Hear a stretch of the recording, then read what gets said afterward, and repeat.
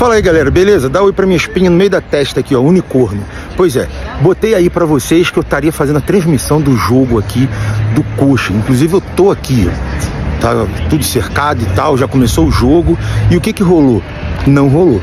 Mais uma vez, comprovado algum tipo de falha de sinal ali dentro do estádio.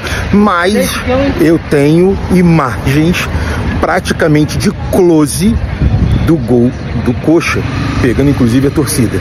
Então não rolou a transmissão ao vivo, mas vai rolar um breve videozinho daqui a pouco no canal Espia Só Curitiba. Acompanhe. Bora!